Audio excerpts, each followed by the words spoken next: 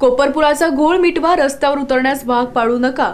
मनसे आमदार राजू पाटील यांनी रेल्वे आणि केडीएमसीला सज्जड दम दिला आहे. कोपरपूल वळवण्यासाठी पैसे कोण देणार असा वाद आता निर्माण झाला आणि त्यामुळे कोपरपुलाचं काम रखडण्याची चिन्ह या गोष्टीवरून मनसे आमदार यांनी रेल्वे आणि केडीएमसीला सज्जड दम दिलाय. कोपरपूर रेल्वे करणार महानगरपालिका करणार की दोघे मिळून करणार घोळ मिटवा आणि जनता त्रस्त आहे. आम्हाला रस्त्यावर उतरण्यास भाग पाडू नका असा सज्जड दम मनसे आमदार राजू पाटील यांनी रेल्वे आणि केडीएमसीला सज्जड दम दिला. याबाबत मनसे आमदार पाटील यांनी ट्विट केली पण आमदार पाटील डोंबिवली पश्चिमेत उद्घाटन भूमिपूजनसाठी आले असता त्यावेळी त्याने सांगितलं की हा सर्व पोरखेळ चालू असून मनसेचा दणका दिल्याशिवाय हे वटणीवर येणार नाहीत. तर दुसरीकडे यावत केडीएमसी आणि senior div general engineer coordination यांनी लक्ष द्यावं असं central Mumbai D R M यांनी ट्विट केलं आहे. मी मागे जेव्हा आमदार निवडून आलो तेव्हा प- आयुक्त साहेबांची सदिच्छा भेट घ्यायला गेलेलो.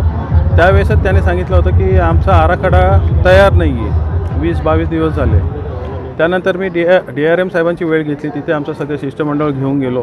त्याने आश्वासन दिलं की दोन दिवसात आम्ही आराखडा देतो. त्यानंतर त्याने आराखडा दिला.